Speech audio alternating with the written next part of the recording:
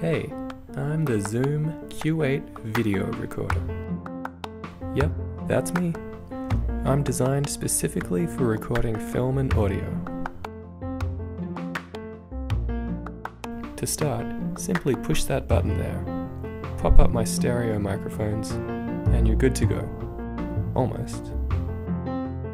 When my viewfinder opens out, you can access the power button. Hold it down for a couple of seconds, and I'll turn on. Make sure my left and right microphone lights are on.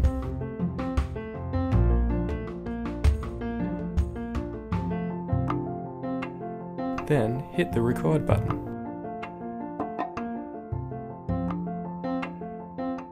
You can adjust the recording level on the microphone's gain dial. Adjust the gain until the audio level peaks about halfway across the meter on screen. You can also change the recording mode by using the touchscreen menu. If you're filming outside, don't forget to put my lens hood on. This will reduce glare. If I'm running out of juice, plug a USB cable into my charging port.